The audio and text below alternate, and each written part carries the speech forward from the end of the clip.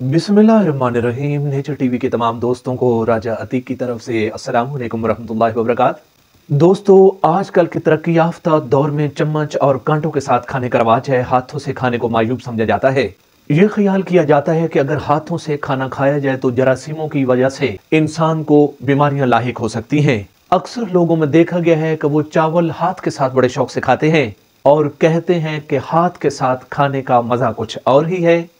हमारे यहाँ लोगों की एक बड़ी तादाद मौजूद है जो अभी तक ये नहीं समझते कि हाथ के साथ खाना खाने और चम्मच और कांटों के साथ खाना खाने के क्या फवायद और नुकसान हो सकते हैं।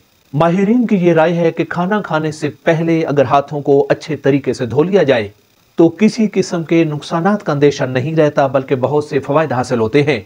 आज आपको हाथों के साथ खाना खाने के चंद फवायद शेयर करूँगा। आप दोस्तों से कहूँगा कि जिन्होंने अभी तक चैनल सब्सक्राइब नहीं किया या नए हैं, मेरे चैनल को सब्सक्राइब कर लीजिएगा। वीडियो को भी शुरू से लेकर आखिर तक देखिएगा।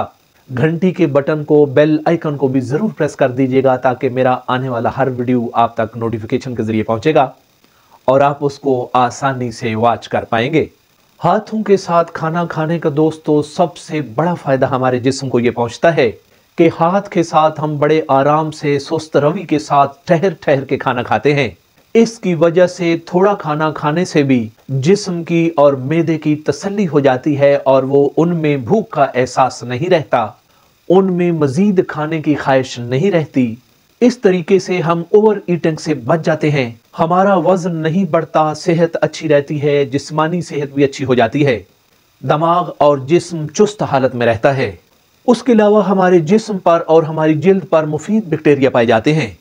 जो खाना खाने के दौरान ऑटोमेटिकली अल्लाह करीम जिसम से क्रिएट करवाते हैं। जब हम हाथ से खाना खाते हैं तो हमारी उंगलियों के ज़रिए वो हमारे मेहदे में, हमारे जिस्म में बैक्टीरिया पहुँचते हैं। ये मुफीद बैक्टीरिया खतरनाक बैक्टीरिया को किल करते हैं, जिससे हमारी जिस्मानी सेहत अच्छी रहती है और खाना बहुत जल्दी हजम हो जाता है। इस तरह हमारा हजम करने वाला निज़ाम इंतही ताकतवर बनता है, खाना ज़्यादा देर मेहदे में नहीं रहता। जल्दी हजम होता है और जुज्वे बदन बनकर हमें ताकत मुहैया करता है। हाथों से खाना खाना ज़्यादा फ़ायदेमंद है क्योंकि यह हाथों के पट्टों को हरकत देता है, जिसकी वजह से उनकी एक्सरसाइज भी हो जाती है। हाथों के पट्टों की हरकत की वजह से हमारे खून की गर्दश में इजाफा होता है। खून की गर्दश तेज होने की वजह से वो जिस्म के दूर दराज इलाकों तक भी खून की सप्लाई आसानी से पहुंचाता है, जिससे पूरे जिस्म की सेहत अच्छी हो जाती है। खून का बहाव अच्छा खासा तेज हो जाता है और सेहत पर इसके नहायत मस्बत असरात पड़ते हैं। अक्सर आपने आजमाया होगा कि चम्मच और कांटों के साथ खाना जल्दी खाया जाता है। जब खाना तेज़ी के साथ हमारे जिस्म में पहुँचता है तो खून में शुगर का लेवल ज़्यादा हो जाता है। अगर ज़्यादा अरसा हमारी यही रूटीन रहे तो ज्याबीतस के शुगर के पैदा हो जाने के चांसेस नुमाया हो जाते हैं। इसके मुकाबले में अगर हाथ से खाना खाते हैं तो वो बहुत सुस्त रवि के साथ, आराम के साथ ठहर के खाया जाता है।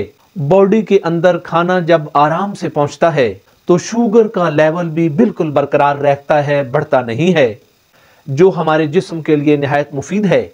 और यूँ हम शुगर की बीमारी का शिकार होने से भी बच जाते हैं। ये दोस्तों, हाथ से खाना खाने के चंद फवायद थे जो आपसे शेयर किए हैं। अब दीजिए इजाज़त।